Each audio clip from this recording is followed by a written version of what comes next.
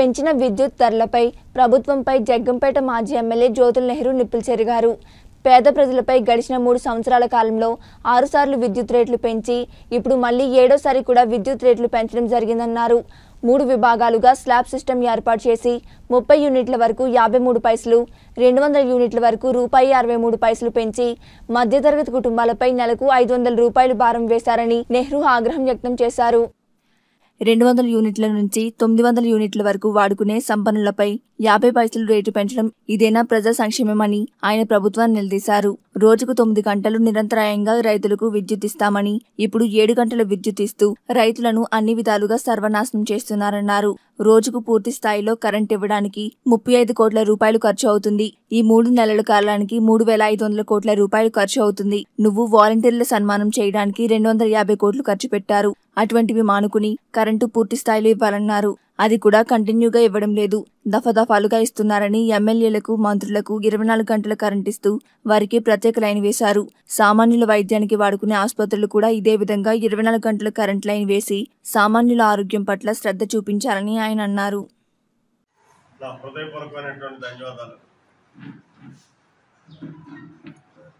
ఈరోజు ప్రజాస్వామ్యవాదులుగా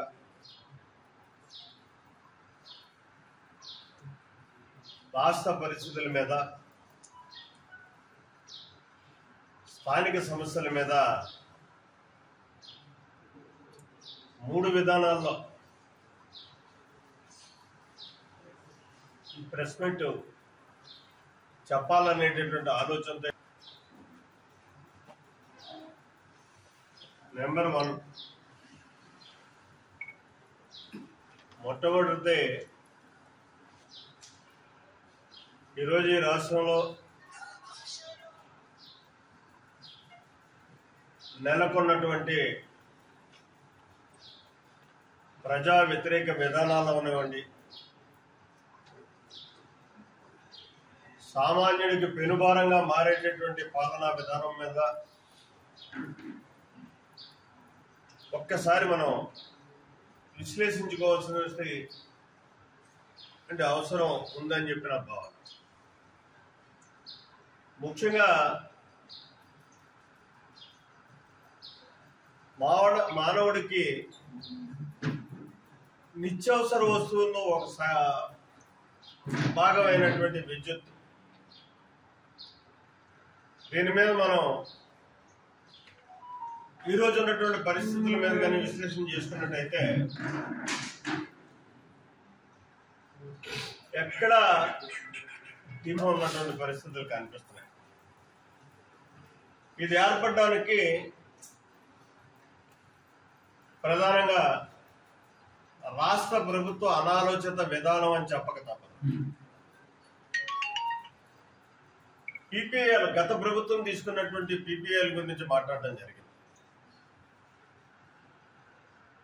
దాన్ని రద్దు చేయడం కూడా జరిగింది.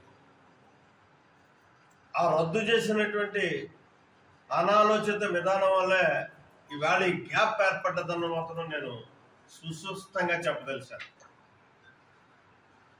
ఇవాళ చూసుకున్నట్టయితే మిలియన్ యూనిట్లు ఆంధ్ర రాష్ట్రంలో ఇవాళ ఉన్నటువంటి పరిస్థితి. ఇది సరఫరా అంటే ఉత్పత్తి అయ్యేటటువంటిది మనం కొనుగోలు చేసేటటువంటి పరిస్థితులు ఇవన్నిటిని చూసుకుంటే అటువంటి దాని మీద కేవలం ఆనాడు రాష్ట్ర ప్రభుత్వం తెలుగుదేశం ప్రభుత్వం చేసుకుందనేటటువంటి ఒక దుగ్ధతో ఈపీపీఎల్ రద్దు చేసి ఇవాళ ఈ గ్యాప్ను మనం పూరించుకోలేనటువంటి పరిస్థితుల్లో ఉన్నాం. పోనీ యాభై మిలియన్ యూనిట్ల కరెంటుని కూడా సెంట్రల్ గ్రిడ్ నుంచి కొనుక్కునేటటువంటి అవకాశం ఉంది దాన్ని కొనుక్కోవాలనుకుంటే రోజుకు ముప్పై ఐదు కోట్ల రూపాయలు ఈ రాష్ట్ర ప్రభుత్వం ప్రత్యేకంగా వెచ్చేసి వెచ్చించాల్సినటువంటి అవసరం ఉంది. దాన్ని పట్టే పెట్టే స్థితిలో లేని కారణంగా ఆ యాభై మిలియన్ యూనిట్లు కరెంటుని ఒక పక్క మనం రాష్ట్రంలో ఉత్పత్తి చేసుకోలేక రెండో పక్క సెంట్రల్ గ్రిడ్ నుంచి కొనుక్కోలేక ఇవాళ ఈ రాష్ట్రంలో ముఖ్యమంత్రి యొక్క కేవలం అనాలోచిత విధానం వల్ల ఈ గ్యాప్ ఏర్పడేటువంటి పరిస్థితి. ఒకటే డిమాండ్ చేస్తున్నాను నేను. నిజంగా నీలో శుద్ధశుద్ధి ఉన్నట్టే రద్దు చెప్పినటువంటి పరిస్థితి. రేట్లు కూడా ఎక్కువ ఎక్కువగా తీసుకున్నారు. దానివల్ల రా ప్రజల సొమ్ము దుర్వినియోగం అవుతుందని చెప్పారు. మరి ఈరోజు ప్రజలకు నువ్వు ఏమిస్తున్నావు ఇవాళ పుంకాలు పుంకాలుగా మనం టీవీల్లో చూస్తున్నాం పేపర్లో వింటున్నాం ప్రజలు గగ్గోలు పెడుతున్నాం. ఆసుపత్రుల్లో కూడా కరెంట్ లేనటువంటి పరిస్థితి. ఎమర్జెన్సీ ఆసుపత్రి అంటే ఎమర్జెన్సీ సర్వీసుల్లో అదొక్కటి ప్రధానమైంది. అటువంటి ప్రధానమైనటువంటి ఎమర్జెన్సీ సర్వీసుల్లో అయినటువంటి ఆసుపత్రుల్లో కూడా ఇవాళ నువ్వు కరెంటును పూర్తి స్థాయిలో ఇవ్వలేకపోయినటువంటి పరిస్థితి ఉందంటే ఇది ఏ రకంగా సంక్షేమ ప్రభుత్వం చెప్పుకోవాలో నాకైతే అర్థం కావట్లేదు. చాలా సిగ్గుపడుతున్నాను నేను. ఎందుకంటే ఇవాళ మీ శాసనసభ్యులు ఇళ్ళకి సెపరేట్గా డైరెక్ట్గా ట్వంటీ ఫోర్ అవర్స్ వెళ్ళేటటువంటి విద్యుత్ కనెక్షన్లు ఇచ్చేసి ఇవాళ మీరు లైన్లు వేసేసి ఆ శాసనసభ్యుడిని పూర్తి స్థాయిలో కరెంటు కట్ లేకుండా కాపాడుకుంటూ పోతున్నారే? ఆ బాధ్యత సామాన్యులు వైద్యం పొందేటటువంటి.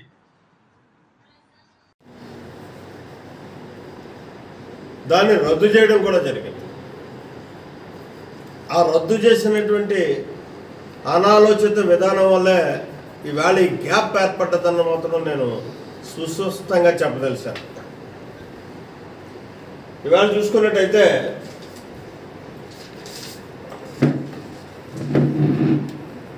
డిమాండ్ చూసుకుంటే రెండు వందల ముప్పై మిలియన్ యూనిట్లు ఆంధ్ర రాష్ట్రంలో ఇవాళ ఉన్నటువంటి పరిస్థితి. ఇది సరఫరా అంటే ఉత్పత్తి అయ్యేటటువంటిది మనం కొనుగోలు చేసేటటువంటి పరిస్థితులు ఇవన్నిటిని చూసుకుంటే నూట ఎనభై మిలియన్ యూనిట్లు మాత్రమే. అంటే గ్యాప్ చూసుకుంటే ఏకంగా యాభై మిలియన్ యూనిట్లు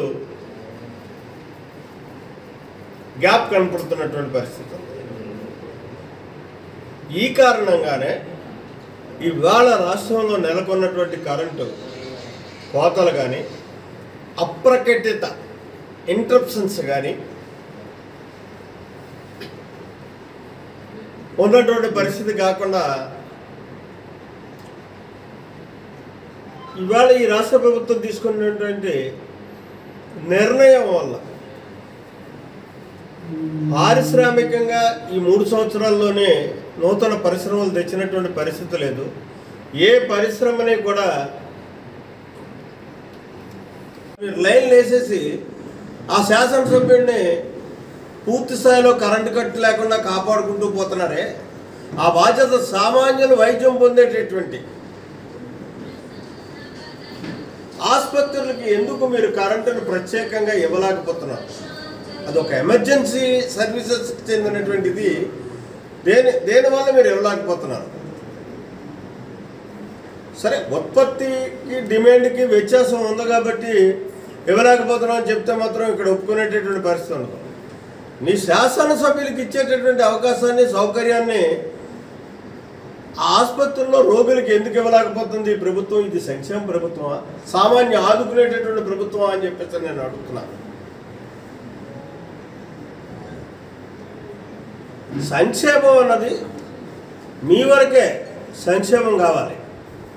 ప్రజలకు అవసరం లే. గొప్పగా చెప్పుకుంటూ లక్ష ముప్పై ఐదు వేల కోట్ల రూపాయలు సంక్షేమానికి ఖర్చు పెట్టాను ఈ మూడు సంవత్సరాల కాలంలోనే. ఆ సంక్షేమం వల్ల ఎవరైనా ఆర్థికంగా పరిపూర్తి చెందగలిగినటువంటి పరిస్థితి ఉందా? ఒకసారి దాని మీద కూడా మనం ఆలోచించుకోవాల్సినటువంటి అవసరం ఉంది. ఇక ఈ విద్యుత్ మీద మనం చూసుకోవాల్సి వస్తే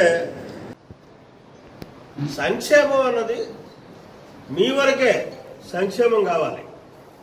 ప్రజలకు అవసరం గొప్పగా చెప్పుకుంటూ లక్ష ముప్పై ఐదు వేల కోట్ల రూపాయలు సంక్షేమాన్ని ఖర్చు పెట్టాను ఈ మూడు సంవత్సరాల కాలంలోనే.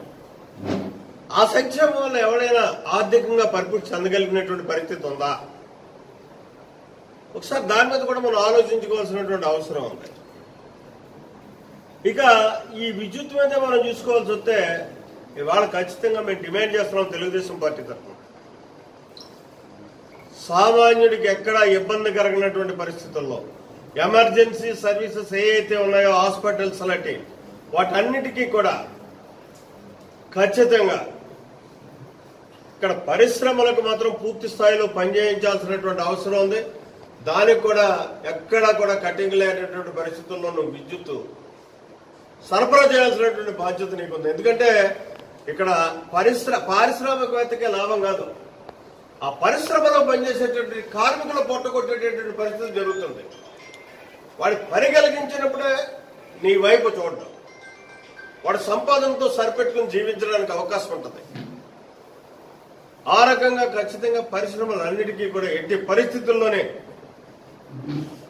వన్ మినిట్ కూడా వెలుసుబాటు లేనటువంటి పరిస్థితుల్లో పూర్తి స్థాయిలో విద్యుత్తును సరఫరా చేయించి విద్యుత్ ఇవ్వాల్సినటువంటి బాధ్యత నైతిక బాధ్యత నీ మీద ఉంది. అలాగే అత్యవసర సర్వీసులు ఏవైతే ఉన్నాయో హాస్పిటల్స్ ఇవన్నీ మొదలుకున్నటువంటి వాటన్నింటికి కూడా కరెంట్ ఇవ్వాల్సినటువంటి అవసరం ఉంది. ఖచ్చితంగా నువ్వు ఇవాళ రోజుకు ముప్పై ఐదు కోట్లంటే ఈ సీజన్ అంటే జూన్ నెలాఖరు దాకా ఎన్ని రోజులు ఉంటాయండి? మూడు మాసాలేమో లైక్లీ నాలుగు మాసాలు. మూడు మాసాలు. అంటే తొంభై రోజులు. ఒక వంద రోజులు. వంద రోజులు అంటే రోజుకు ముప్పై ఐదు కోట్ల చొప్పున ఎంత అవుతుందండి? అక్కడ కొట్టాలి?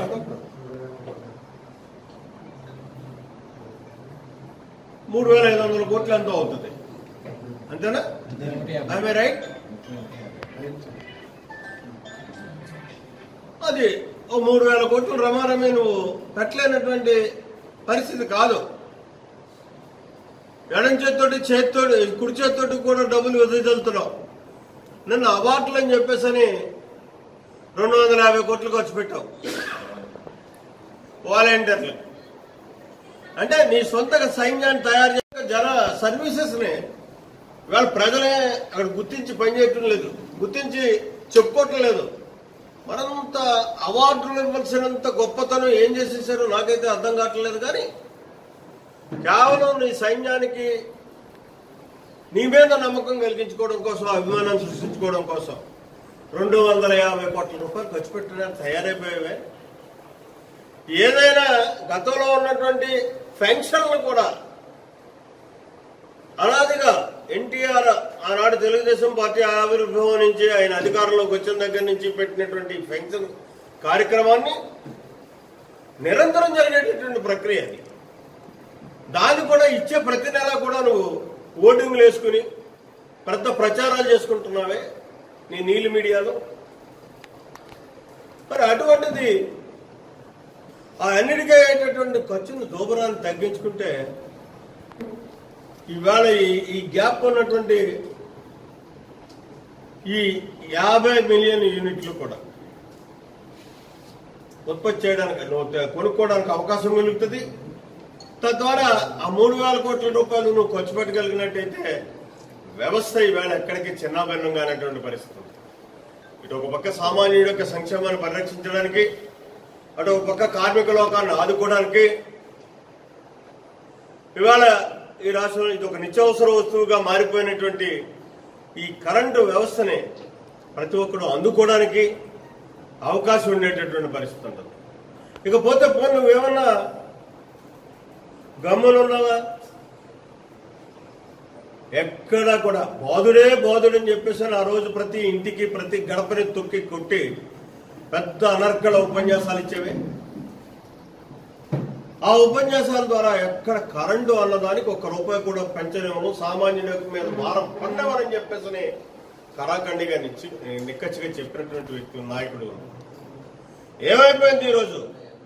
నువ్వు ఈ రాష్ట్ర పరిపాలన చే చేపట్టిన తర్వాత వివిధ రకాల వివిధ కోణాల్లో ఈ రాష్ట్రంలో సామాన్యుడి మీద ఏడు సార్లు భారం మోపడం జరిగింది.